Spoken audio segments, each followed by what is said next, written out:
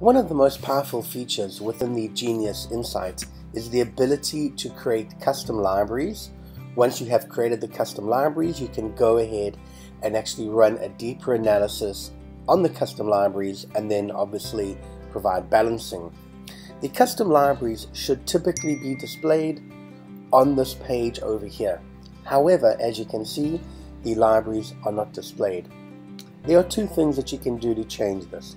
The first thing is in the top right hand corner, you can go to your navigation, you can go down to your settings,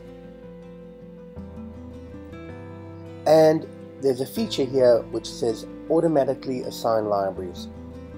If you go ahead and select that as on, moving forward, every single new client that you create will automatically assign all of the libraries that you have either created or you have purchased to your client. If we now go back to the system overview page, you will see that we now have the libraries feature available on the system overview page.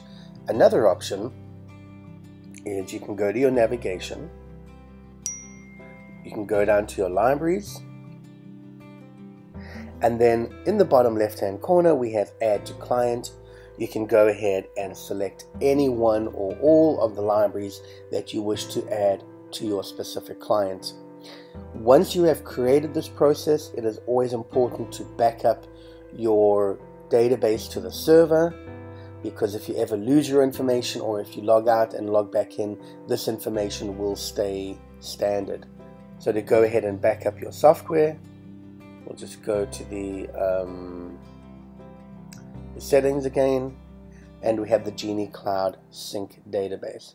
It's advisable to do this on a regular basis, maybe once a day, once a week.